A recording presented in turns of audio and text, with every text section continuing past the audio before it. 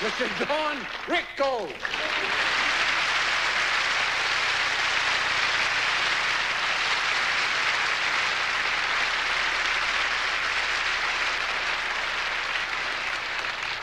I bring love and I bring peace.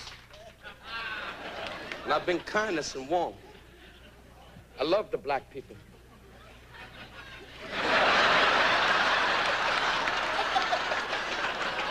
the black people of my life, my world, they do what they're told. We're honoring Mr. T. Why? I met this man many, many years ago in a 7-Eleven store, and he said, give me your money.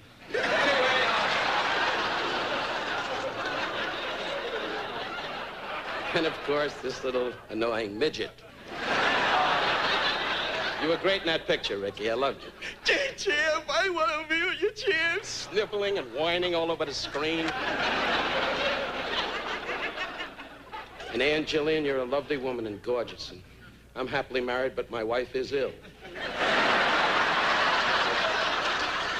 body dances and tingles. My wife's body just lays in the bed and goes, Bleh.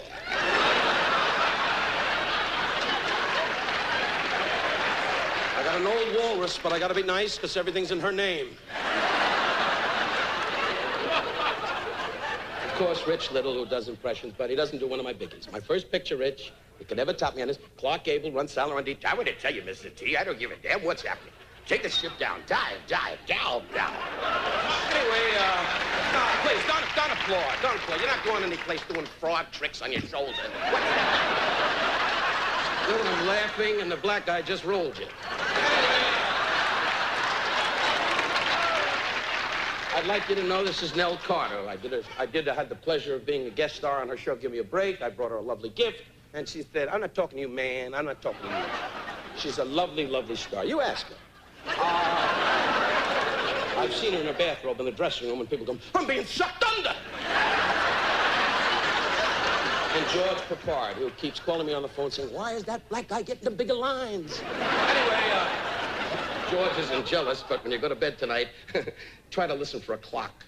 Uh, your part, George, is getting smaller and smaller. Tell him what you told me, how you're fed up with the blacks and you don't want them in your neighborhood. Anyway, But we need the blacks. Without them, there'd be no Olympics. I'll tell you this.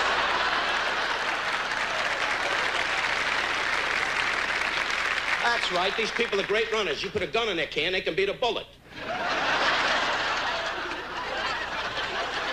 Oh, by the way, I, I would be I would be amiss if I didn't mention that Bob Hope is here tonight. It's good to see you, Bob. He's here because there's no war on.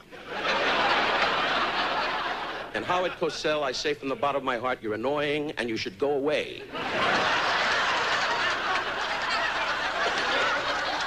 and so, again, to Mr. T, you're the best. You've proven that and continued success. Thank you very much.